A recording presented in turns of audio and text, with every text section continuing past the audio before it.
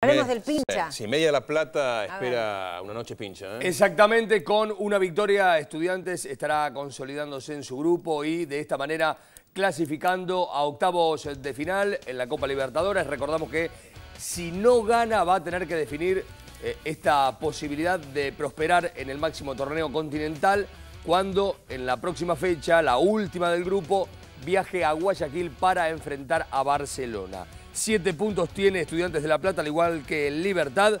Hablamos justamente de este grupo 7, Atlético Nacional de Medellín, el rival eh, del pincha hoy 19.30 en el Ciudad de La Plata. Tiene cinco unidades, Barcelona de Guayaquil suma solo tres. Copa Libertadores, el detalle tiene que ver también con Racing que logró ayer la clasificación a pesar de haber perdido hace 24 horas ante Guaraní en Paraguay producto del empate entre Sporting Cristal y Táchira de Venezuela. Así que Racing dio el paso adelante, clasificó para la eh, octavos de final, iba a decir la próxima fase de la Libertadores.